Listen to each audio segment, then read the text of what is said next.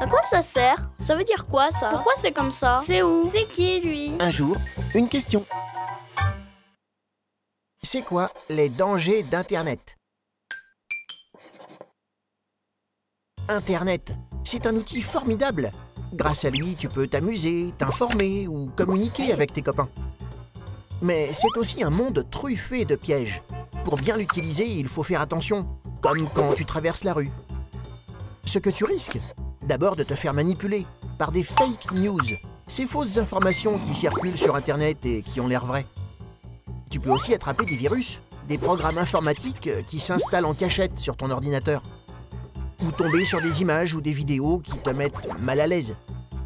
Sur les réseaux sociaux, des personnes mal intentionnées peuvent chercher à te contacter en se faisant passer pour tes amis. Alors, comment faire pour te protéger?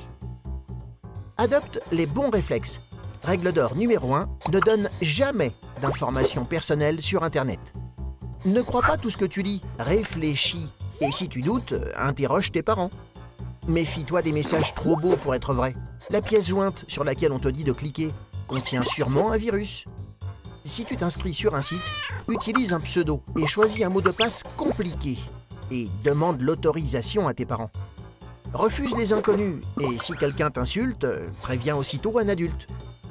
Et n'oublie pas, Internet, c'est chouette, mais il y a aussi plein d'autres choses à faire, sans être derrière un écran. Tu te poses des questions? Nous, on y répond.